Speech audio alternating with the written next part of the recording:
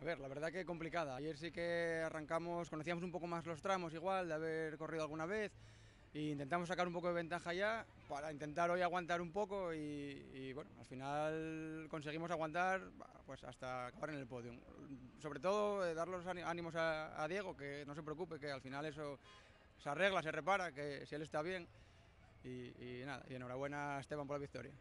Claro, muy largo, ya viste que al final eh, que no tuvo un problema en todo el rally, eh, vamos, es, es un milagro. Y al final aquí el tema está en aguantar y, intentar llegar aquí a, a, la cayuría.